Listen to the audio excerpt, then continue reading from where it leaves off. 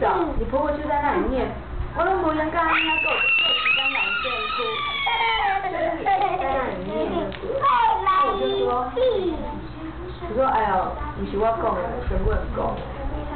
啊啊，雪莉就说你哦，回家好你要去帮小孩子洗澡，不要说他那么忙，你要叫他给他洗澡。说没有啊，反正就这样讲，他没空就不要洗就好了。那么忙，没办法，那时候就觉得说啊，如果不去在台北就好了。